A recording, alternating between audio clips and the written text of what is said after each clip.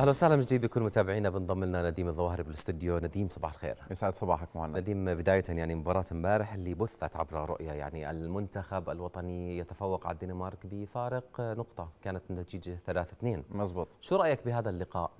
يعني بصراحة كان يعني بالمنظور العام آه يعني فوز مهم بالنسبة للمنتخب. طبعا. معنوي أكثر من ما هو يعني نحكي بأي تفاصيل ثانية بصراحة لأنه عم نحكي عن منتخب الدنمارك شاهدنا آه الأنباء اللي, وردت إنه منتخب تحت 21 عام فعم نحكي عن منتخب شاب أسماء صغيرة.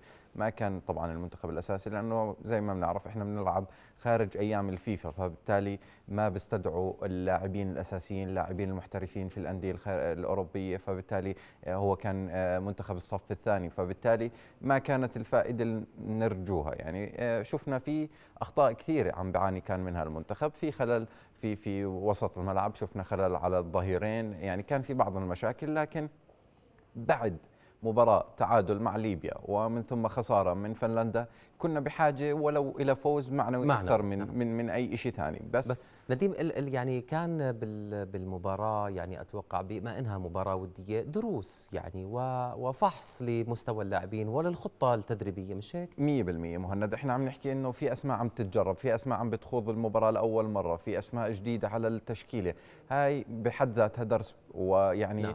آه، فرصة كويسة بالنسبة للمدير الفني جمال أبو عابد إنه يطلع على الأسماء عن قرب ويشوفهم على أرض الملعب. لكن بصراحة لازم إنه نوصل رسالة للجهاز الفني والإداري بالنسبة للمنتخب إنه في قادم الأيام. هو جهز الخطة لحد نهاية السنة لكن يجب إنه نختار أيام لعب المباريات الودية بعناية أكثر. لازم يكون في أيام خلال أيام الفيفا حتى نقدر إنه نستدعي اللاعبين لأنه إحنا اليوم نعم. مش مستدعين اللاعبين المحترفين حتى المنتخبات اللي بتواجهها ما راح تقدر تستدعي لاعبيتها فبالتالي هون في مشكلة كثير كبيرة لازم يكون في مباريات خلال أيام الفيفا حتى نقدر إنه يعني آه، آه، آه، يعني نختبر اللاعبين لأنه بالنهاية أنت بدك توصل لتشكيلة ثابتة.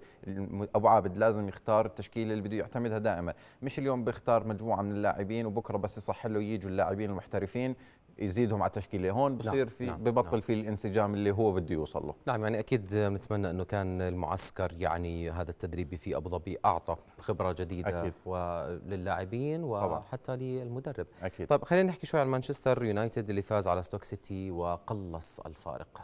كيف كان اللقاء؟ يعني آه، مانشستر فاز بثلاثة أهداف نظيفة. آه، مباراة كانت مهمة جدا بالنسبة لمانشستر يونايتد. عم نحكي أنه كان آه، مرتبط هو وليفربول وتشيلسي برصيد 47 نقطة. فبالتالي نعم. كان الفوز فك الارتباط مع تشيلسي مع ليفربول. عم كل واحد بتابع كرة قدم بيعرف قوة وأهمية الدوري الإنجليزي وشراسة المنافسة خصوصا لما نحكي آه، مانشستر آه، سيتي بالصدارة برصيد بفارق 12 نقطة عن اليونايتد. بعد هيك عم نحكي 50 نقطة بالنسبة لليونايتد آه، بعدين 47 تشيلسي أرسنال. يعني في تقارب كثير كبير. 44 توتنهام. فبالتالي الدوري الإنجليزي دائما ما عودنا على الإثارة عودنا على صعوبة التكهن بالنتائج. فوز كان مهم جدا بالنسبة لليونايتد. هو عم بقدم مستوى مميز ولكن أعتقد إنه مشوار الدوري طويل جدا وممكن يكون في تقلبات كثيرة. نعم يعني نديم بدي أشكرك كنت معنا في هذا الصباح. شكرا, شكرا. لك مهند. أهلا, أهلا وسهلا.